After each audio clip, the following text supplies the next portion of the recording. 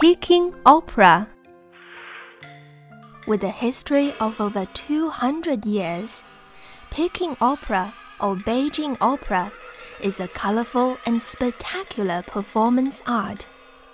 Combining wonderful singing and acting with elaborate costumes and makeup, it is regarded as a cultural treasure of China. During the reign of the Qianlong Emperor, the four great Anhui troupes brought Eastern China's Anhui opera to Beijing. Then they were joined by several Hubei troupes from central China. This combination gradually formed the most influential Peking opera.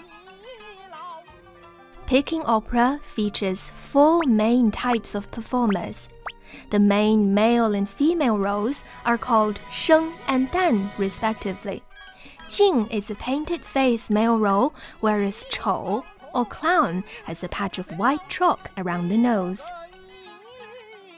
Performers follow the established formats of singing, reciting, acting, and martial arts.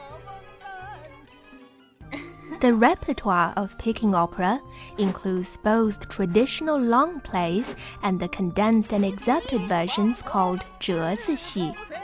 The plays tell stories about history as well as social and family life, reflecting China's traditional cultural values. Expressing the aesthetic ideals of the Chinese nation, Peking opera is a precious, intangible cultural heritage of all humanity.